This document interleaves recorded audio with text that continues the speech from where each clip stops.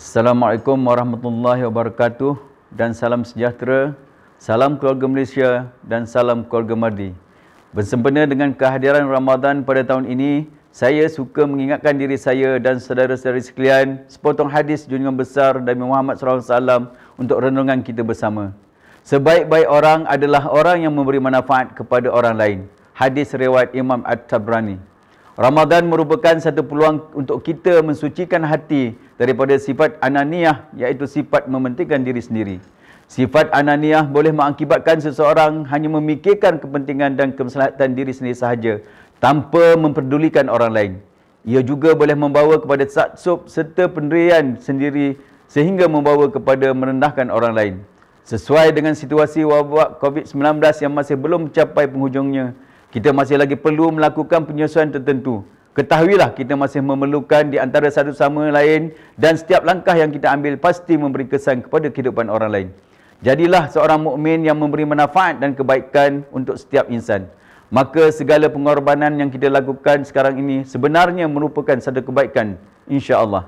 Tanamkanlah tekad kuatkanlah semangat dan teruskanlah bertahan dengan segala ujian dan musibah. Insya-Allah Allah Subhanahu taala akan mengurniakan jalan keluar buat kita semua. Dengan ini marilah sama-sama kita berdoa semoga kita sentiasa dirahmati dan diberi kekuatan oleh Allah Subhanahu wa taala dalam mengharungi Ramadan pada tahun ini. Bismillahirrahmanirrahim. Alhamdulillahirabbil alamin wassalatu wassalamu ala asyrafil anbiya'i wal mursalin wa ala alihi washabbihi ajmain. Ya Allah, ya Rahman, ya Rahim. Dalam dakapan Ramadan yang suci ini dengan rasa rendah diri, kami yang kerdil dan hina ini memohon hidayah dan rahmatmu ya Allah kerana sesungguhnya engkaulah Tuhan yang maha mendengar. Ya Fattah, ya Alim, Ajarkanlah kami yang lemah ini untuk melihat jalan keluar dari semua masalah yang membelenggu kami. Bukakanlah hijab kepada kami yang tidak mampu melihat setiap kebaikan pada kejadian dan takdirmu. Takdirkanlah yang baik-baik untuk diri kami. Janganlah kau menguji kami dengan apa yang tidak mampu kami lalui. Bukakanlah pintu-pintu rahmatmu untuk kami, Ya Allah. Ya Allah, Rabbul Jalil. Sejahterakanlah untuk kami dengan kesihatan yang baik supaya dengannya kami dapat beribadah kepadamu. Justeru ya Allah, ampunilah semua dosa-dosa kami, berilah kekuatan kepada kami untuk melawan hawa nafsu dan dunia yang sentiasa melalaikan kami daripada mengingatimu ya Allah. Ya Allah, Ya Rahman, Ya Rahim. Ampunkanlah dosa kedua ibu bapa kami. Setiap titik susu ibu yang mengalir dalam diri kami. Kau gantilah dengan kebaikan untuknya yang boleh membawanya ke syurgamu, Ya Allah. Ya Rahman, pada setiap keringat yang mengalir pada tubuh ayah kami dalam mencari rezeki kepada keluarga kami.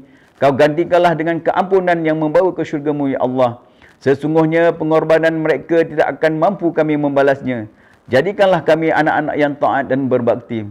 Ya Allah, kami juga memohon ampun untuk kaum kerabat kami, sahabat-sahabat kami dan guru-guru kami yang terlebih dahulu pergi meninggalkan kami ke alam barzah. Golongkanlah mereka dalam golongan orang-orang yang engkau redai. Apabila tiba pula giran kami menuju barzahmu, maka kau ambillah kami dengan keampunan dan rahmatmu, Ya Allah. Ya Allah, Ya Aziz, kurniakanlah kepada kami jiwa yang tenang dan tentram. Yasilah hati kami dengan sifat syukur, redha, sabar, ikhlas, amanah dan bertanggungjawab. Kau jauhkanlah kami dari sifat ujuk, riak, takabur, fitnah, mengadu domba, sangka buruk dan kianat.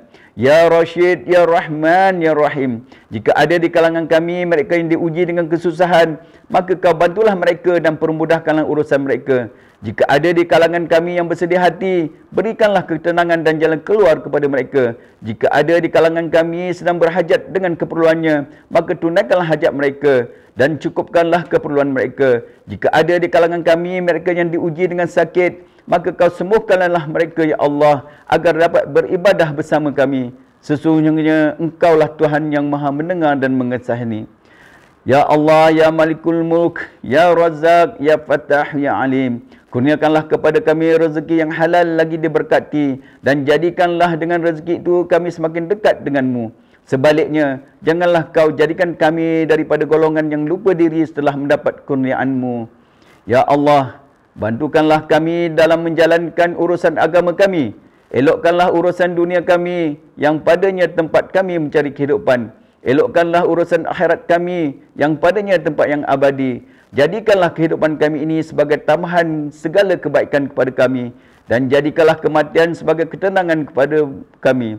Sesungguhnya kami ingin kembali kepada Bu dengan jiwa yang tenang. Ya Allah, Ya Jalali wal Ikram. Janganlah kau jadikan Ramadan ini sebagai yang terakhir buat kami. Temukanlah kami dengan Ramadan yang akan datang. Temukanlah kami dengan malam Lailatul Qadar. Pilihlah kami dengan di kalangan hamba-Mu yang dapat beramal di malam Al-Qadar. Ya Allah, terimalah amalan kami. Terimalah taubat kami. Ampunkanlah selera dosa kami. Amankanlah kehidupan kami di sana nanti yang kekal abadi. Kurniakanlah kepada kami syurga-Mu yang maha luas nikmatnya. Amin, amin, amin ya rabbal alamin.